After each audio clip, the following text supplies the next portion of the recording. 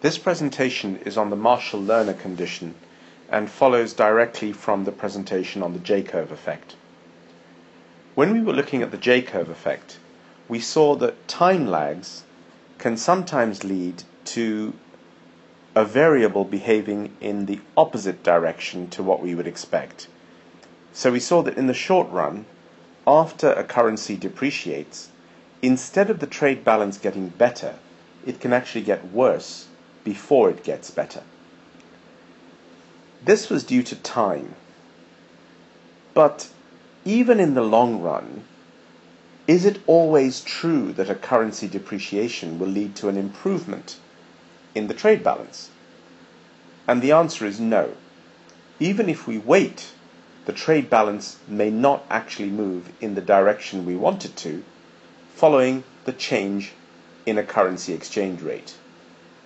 To see why this is true, we have to look at the price elasticity of demand of a country's exports and imports. In other words, the PED.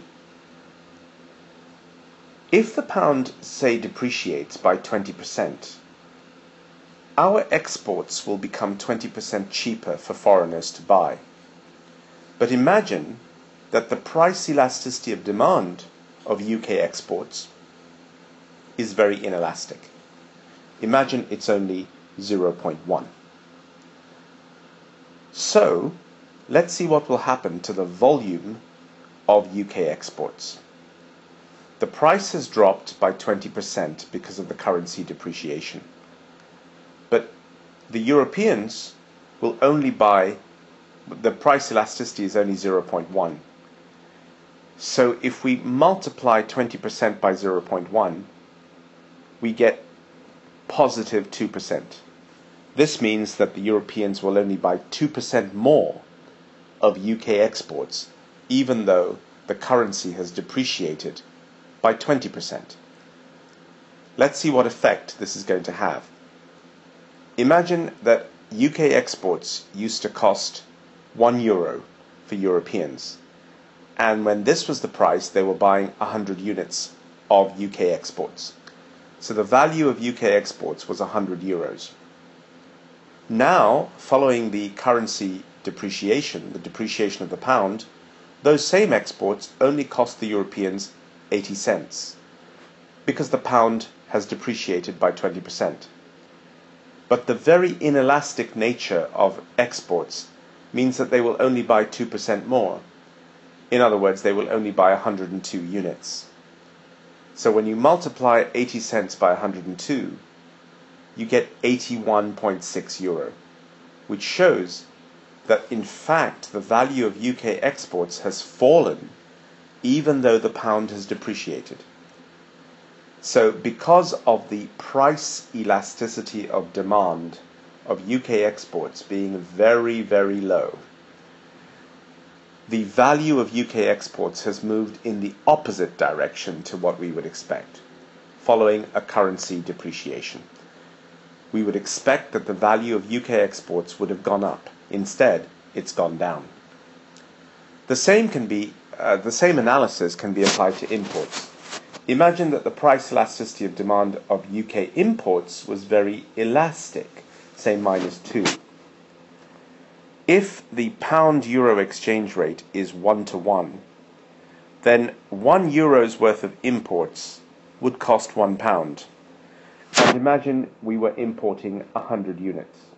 So the value of our imports would be 100 pounds.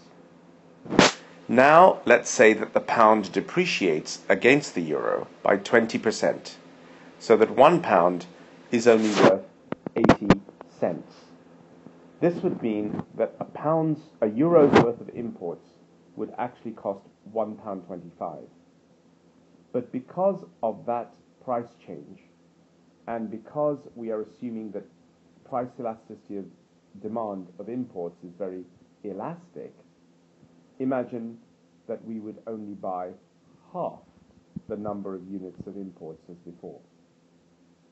This gives uh, a value of 62.5 pounds for our imports. So instead of the value of the imports having gone up as a result of the currency depreciation, imports have actually gone down, which is the opposite to what we would expect. So once again, we see that if we choose a certain price elasticity, the value of imports can go in the opposite direction to what we would expect. This led Marshall and Lerner to come up with a rule.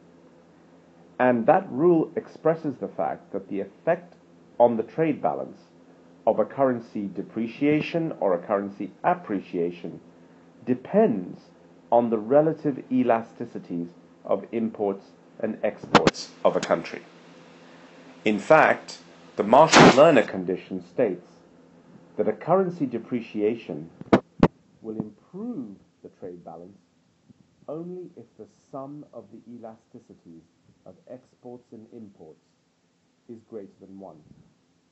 Of course, this also works in the opposite direction, so we can say that a currency appreciation will only make the trade balance get worse, will only worsen the trade balance if the sum of the elasticities of exports and imports is greater than 1. So this rule, the Marshall-Lerner condition, tells us when, under what circumstances, the trade balance will move in the direction we expect it to following a change in the exchange rate.